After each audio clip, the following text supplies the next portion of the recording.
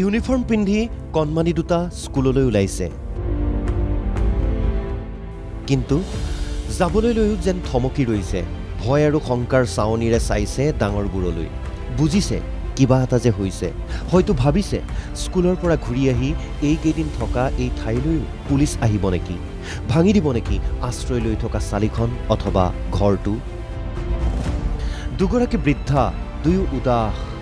জীৱনৰ বিয়লি বেলা এক অনাকাংক্ষিত কঠিন পৰিস্থিতিৰ মুখামুখি হৈ দিশহাৰা তেওঁলোক। এয়া বৰচলাৰ চিতলমাৰীৰ দৃশ্য। দুদিন পূৰ্বে প্ৰশাসনে চলাইছিল উচ্ছেদ অভিযান। শতাধিক পৰিয়ালৰ ঘৰ দুৱাৰ ভাঙি পেলোৱা হ'ল। সৃষ্টি হৈছিল অবৰ্ণনীয় এক পৰিৱেশৰ। কান্দোনত ভাঙি পৰিছিল উচ্ছেদিত মানুহবোৰ।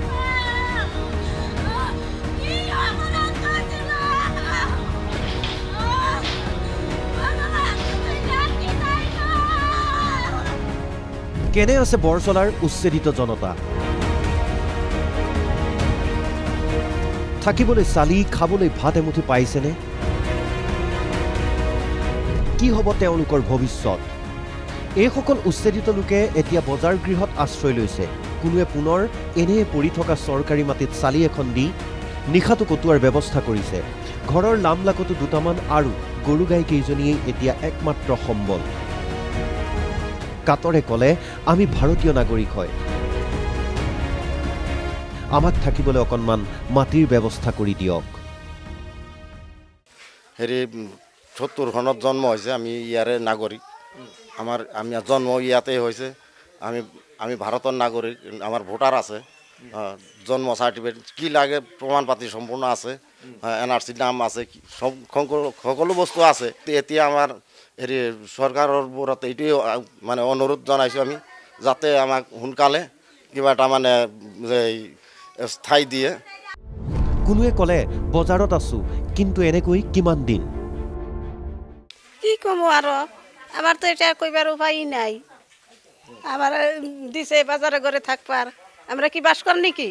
আমার যে বাজারে ঘরে থাকবার দিছে উচ্ছেদ করে দিছে আমার মাটি লাগে আমার ঘর লাগে। তাড়াতাড়ি আমার ঠাই দিয়ে দাও।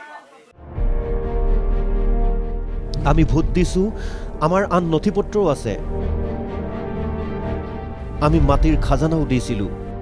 কন্দনা মোৱা হৈ ক'লে দুৰ্ভগীয়া উচ্ছেদিতই সরকারের সহায় করে না সরকারের ভোট দিতেছি বছরে বছরে সব কাগজপাতি ঠিক আছে মানে তো উঠতে যা লাগে গা। ইয়ে চাওক আমাৰ বৰচলা সমষ্টিৰ ভোটাৰ আমি। আজিকালিৰো নাই আমাৰ দেউতাৰো ভোট ইয়াত আমাৰো ভোট ইয়াতে আছে চাওক। কি ক'ম ইয়া চাওক ডকুমেণ্টছ বাৰে বাৰে দেখাই আছে আমি কৰ দি আছোঁ? আমাৰ ৰেভিনিউ বিলিজ হয়। আমাৰ কিয় চৰকাৰে উচ্ছেদ উচ্ছেদ কৰিলে? আমাক কিয় নোটিছ নোটিছ দিলে চাওক? এই আশী চনৰ পৰা আমাৰ খাজনা দিয়া মাটি চাওক। এনে অৱস্থাত অসহায় লোকসকলৰ প্ৰশ্ন আমি ক'ত যাম? এতিয়া ধৰক আমি ইয়াতে শিবিৰ বনালোঁ কাইলৈ আমাক কিমান হেৰাছমেণ্ট দিলে চব আহি পেলাই ধূৰা চৰা চব ভাঙি দি পেলাই তিনি আমাৰ সিফালে বহিবও নিদিয়ে। আমি ৰাইজ লৈ ল'ৰা ছোৱালী লৈ এইবিলাক লৈ ক'ত যাম? কি কৰিব এওঁলোকে? কলৈ যাব? কি হ'ব ভৱিষ্যত? এনে প্ৰশ্নবোৰৰ কোনো উত্তৰ নাই। এই খাটি খোৱা লোকসকলক যেতিয়া উচ্ছেদ কৰি দিয়া হ'ল নিশ্চয় চৰকাৰে তেখেতসকলে দাবী জনাইছে যে আমাক এটা থকাৰ ব্যৱস্থা কৰি দিয়ক।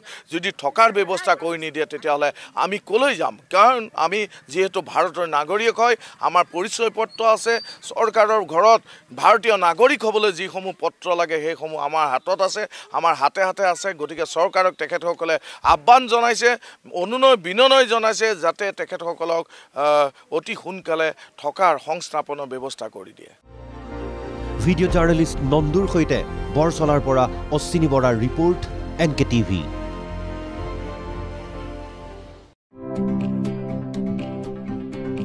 Are you planning to pursue your career in civil services? Join the most successful APSC and UPSC coaching institute in Northeast, Bhadra IAS Academy. Admissions are in process for both online and offline mode. It includes study materials, mock test, model question and answer, monthly magazine, and interview guidance.